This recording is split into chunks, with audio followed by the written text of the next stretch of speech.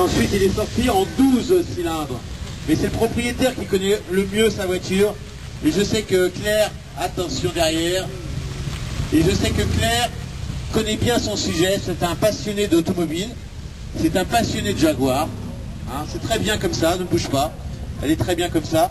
Il ouvrira son capot parce qu'on admirera son moteur, mais je sais qu'il l'ouvre à chaque fois. Hein, il aime bien présenter son- sa voiture. Alors c'est une voiture qui est sortie euh, bah, dans les années 70.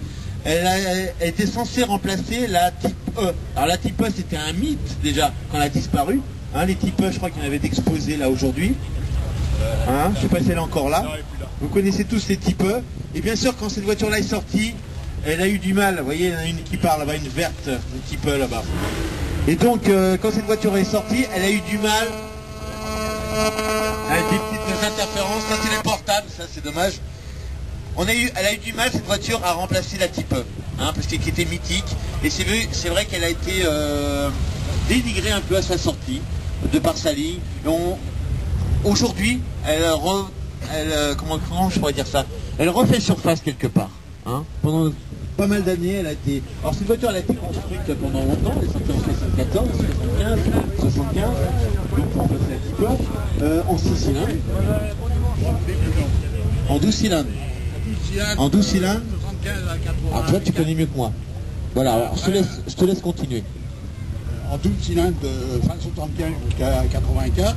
Oui, en à 12 partir cylindres. de 84 jusqu'à la fin, 95, 96, on a les deux versions disponibles, les 6 en ligne, Voilà. qui est un 3.6 puis qui est passé en 4 litres, et puis le V12, donc là depuis le début des 76. Tu fais quel cylindre le V12 Qui est à 5 litres 3 5 litres jusqu'à euh, 1980, ouais, 1992, un peu après la mienne, où il passe en 6 litres. En 6 pour, litres, euh, pour, voilà. toutes les, pour toutes les dernières. plus Donc, euh, avec euh, toujours sur les deux motorisations 6 cylindres et V12, les, les deux carrosseries, à partir de 88, c'est l'apparition du, du vrai cabriolet euh, qui est décapotable Alors, oui. la, la petite Alors ce qu'il faut dire que la voiture elle est sortie en coupé. Après il y a une version euh, découvrable, eu une pas, version- pas un vrai cabriolet. Oui, et après, les- bien longtemps après, il y a eu la- le vrai cabriolet dans les années 90. Euh, bon, le Ah bon vrai cabriolet est apparu en- à partir de 88, il arrive 88. qu'on envoie ici. Voilà. Euh, dans les années 85 à à peu près 88, euh, il y a eu une version intermédiaire dite découvrable, qui ressemble à, pour ceux qui connaissent, à la Triumph Stag qui avait un Voilà. moteur euh, V8 euh, Avec un arceau, en fait, hein. Avec un, Avec un arceau central. qui, pour moi, n'est pas un vrai- Mais- un vrai cabriolet. Donc du toit démontable pour les parties avant au-dessus des passagers, en deux Voilà. parties, et une partie sur la Jaguar qui était décapotable en toile, sou- en toile souple, en toile souple, une pour la- partie pour la partie arrière. Voilà. Comme la, la Triumph à partir de l'arceau qui était dé- décapotable, avec une ligne de ligne de, de- de- de- de- de la caisse là qui était complètement différente. différente les du coupé. Parce que moi ce que j'aime bien sur le coupé, hein, c'est cette euh, carrière avec euh, ces, ces- ces custodes qui partent un peu euh, légèrement en pente comme ça, avec ces lunettes arrière inclinées. Et j'aime beaucoup, j'aime beaucoup la forme de cette, euh, de cette Jaguar. Oui, Et- oui, Tu, parlais des difficultés que le public et les acheteurs ont eu à accepter le modèle à partir de Oui, 1976. Et c'était en, en particulier ce type de D'arrière. de de, Bah de l'arrière était. au niveau du style, elle n'a rien à voir avec la type hein, qu'on connaît tous. Hein, c'est vrai qu'on changeait carrément de registre. Alors, Ah oui, la, type bah- la type elle était sortie dans les années 60, début 60. Bah oui, elle était inspirée des voitures de course de l'époque. Et alors que celle-ci, on est parti d'une feuille blanche, carrément. Oui, la type on a une voiture qui va à peu près de 60 à 75, à peu- quelque chose près. Mm. Donc 15 ans déjà à peu près, et puis celle-là qui dure 20 ans. Donc euh, sur deux modèles, il y Elle a quand même a été 105 fabriquée quand même pendant 20 ans. hein. Oui, oui, oui, Donc euh, voilà. Donc est-ce qu'on peut voir le moteur? Parce que le V12, que, avant, tu disais tout à l'heure dans ton introduction là, que le modèle avait été peu apprécié au tout début, et c'est exact que c'est vrai, les premiers, bout de- les bout premiers essayeurs, les premiers notamment au bout de prototypes, 5 ans de fabrication, en 81, euh, ça a failli arrêter. Ça a Ouais. failli arrêter. ils ont failli arrêter le modèle. Euh, cette année-là, il s'en était vendu une quinzaine en France, en tout et pour tout. En quelle année En 81. En 80, ils ont vendu qu'une quinzaine de modèles. Ah En oui, France, en France, en hein. France. Ouais. c'était plus rentable. D'accord. Par contre, euh, euh, les, dans le modèle XJS que vous avez devant vous, à l'époque Ouais. où le cabriolet est apparu, en particulier en 88, Ouais. les, les Les grosses années de vente ont été les années 89 à 91. C'est-à-dire presque 15 ans après le début de.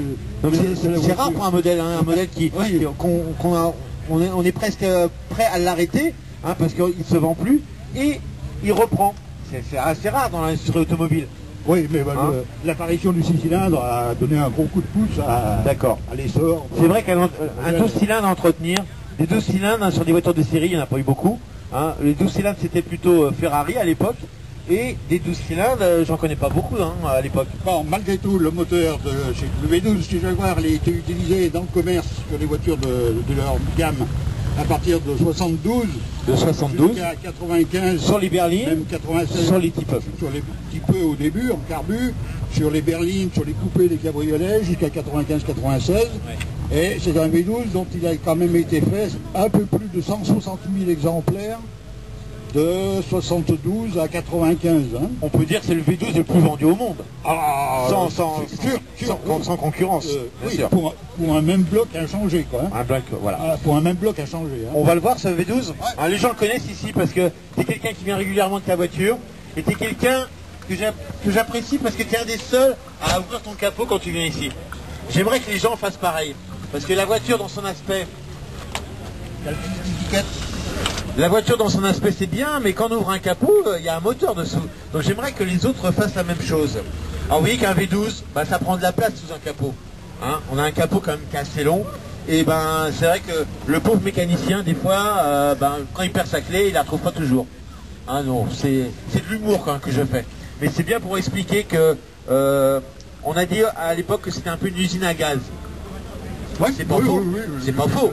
Hein, c'est vrai que c'est pas évident de s'y retrouver. Oh, Mais bon, le- surtout le, ah, le, le défaut euh, sur le plan visuel, c'est que personne n'a jamais fait d'effort, au moins entre 75 et puis 90 où cette voiture a été faite, pour ranger un peu mieux les choses sous le capot du c'est vrai. Et moi quand je vois ça, je a- me dis. euh, Il n'y a que dans les Il y a trois moyen. dernières années de vie euh, de- du modèle Ouais, qu'on oui. a une euh, présentation du du- sous le Ouais. moteur là, qui commence à devenir à peu près euh, raisonnable, enfin, à peu plus- près bien plus simple, rangé. plus quoi. simun, voilà. Non, bien rangé. Quoi. bien rangé, on va dire. Et puis avec un gros cache qui couvre l'ensemble de la partie de l'injection au centre du V. euh, ouais. D'accord. Donc ce modèle-là s'est arrêté à quelle époque? Les dernières euh, versions, les dernières années de production? Les derniers coupés, derniers coupés et derniers cabriolets V12, c'est 95, c'est parce que les Américains ne l'acceptaient plus pour la pollution. Ah, il Ils passait plus la passaient pollution. C'est vrai qu'aux États-Unis, là, c'était assez, euh, Ouais. assez sévère au niveau de la pollution. Et les six cylindres? Euh, le, le 6 cylindres qui était apparu sur le modèle XJS euh, dans les années 85, lui il a duré jusqu'à 1996, 96. même, même euh, 97, euh, 97. euh, Ouais. jusqu'à l'apparition des, Des nouvelles versions. euh, des nouvelles versions qui sont à moteur V8 sur les berlines, hein, et puis les coupés XK, XK, XK. D'accord. Mais aujourd'hui, c'est une voiture qu'on redécouvre. hein. C'est vrai que la version cabriolet, elle est sympa, comme tout souvent les versions cabriolet par rapport au coupé, et que j'aime beaucoup aussi. hein. Euh, Alors c'est vrai que entre le 6 cylindres et le 12 cylindres, après c'est peut-être une question d'entretien, Ah, bah, de budget, non, je pense. Bon, il se trouve que celle-là, euh, quand je l'ai achetée il y a 15 ans, elle était à vendre à Rennes, et que bon, je suis pas allé voir euh, Ouais. leur version, y compris avec un, y compris avec un 6 cylindres, et puis à l'époque, c'était celle sur lequel, pour laquelle le, le badge V12 à l'arrière a été écrit le plus gros, plus gros que chez BMW, chez Mercedes. Ah bon Ah, un petit facteur favorisant. Bon. Bon, Mais c'est vrai de que c'est vrai que c'est- à noter que euh, des voitures à moteur V12, eh ben, ça court pas les rues. Peut-être plus maintenant, mais à l'époque ça ne courait pas les rues. Et que le V12 Jaguar euh, est relativement fiable, on peut dire, hein, quand même. oui, tout est comme Voilà. dans beaucoup d'autres voitures. toutes les voitures, si on les, si on les entretient bien, il n'y a pas de souci. de- d'utilisation et Voilà. et d'entretien. Bien sûr, ça- je l'ai acheté il y a 15 ans, j'ai fait 185 000 km avec. Hmm. Euh, mon tas de facture, je le connais, c'est 20 centimes d'euros du kilomètre. Euh, Bon, ça reste tout à fait... d'en- La totalité d'entretien. Bon, Le ça reste, ça reste raisonnable. euh, Je pense que tes amortisseurs de capot sont fatigués, mais bon, Ah, c'est pas bien grave. Non, mais ça dépend s'il y a du vent. Et qu'ils ça- sont fatigués. ah, mais- le vent appuie sur le... Ah, d'accord. Et quand le moteur est chaud, euh, les- le gaz